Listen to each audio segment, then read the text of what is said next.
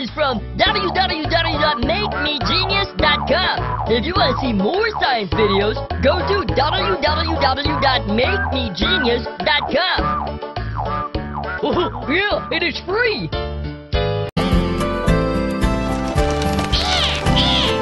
Today's topic our food. What happened, Jimmy?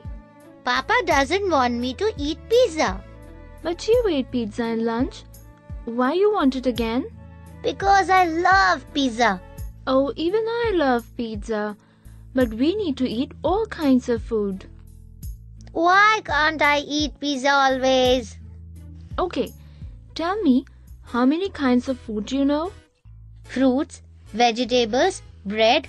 Oh, there are many. Do you know why we eat food? Yes, to get energy to work and play. Otherwise, I feel tired and hungry. Yes, you're right. We also need food to grow. Yay! Let me tell you about different kinds of food. We can divide food in five types. I can see bread in first one. Yeah, these are made of cereals. These are called carbohydrates. In second, it is butter. Mmm, yummy. Yes, these are fats.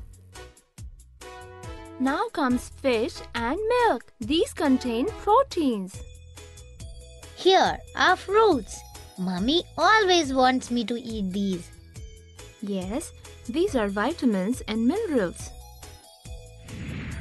Oh, there is water also. Now let us understand what these different foods do. Like car needs petrol to run, our body also needs energy to work. This energy comes from carbohydrates. They also gives us instant energy. Carbohydrates, energy giving foods. Let us now move to fats. Fats also gives energy, but they give energy very slowly. Body keeps them in store, and if you don't get carbohydrates on time, body uses them. Like mama keeps some extra chocolates away at home, body also keeps some extra energy in store. Oh. Fats. Store of energy in body. Slow energy. But if you don't use this stored energy, you can become very fat. So you should eat less of these. So, my friend John is fat because he keeps eating and does not play. Yes, you're right. More fat. You become fatty. Now proteins, how they help. Here are proteins. These help you to grow. You know, body keeps building new cells. These proteins help to build and repair cells. Proteins, bodybuilding, and repairing. Let me show you more. Why this person looks sick? There are few nutrients which keep our body healthy and they fight diseases. These are called vitamins and minerals. Vitamins and minerals keep body healthy, fight diseases. Now, most important part of body. This is water. Yeah, this is very important. You know, half of our weight is water in our body. Oh, I am of 30 kg. That means there's 15 kgs of water in my body. Yes, it helps to keep our body clean and helps in digesting our food. Water keeping body clean and help in digestion. Let me show you something. Why milk again? because it has everything. This is called a wholesome food. Let me note it down. So now on, I would eat all kinds of food, but less fat. Let's revise what we've learned. What is this?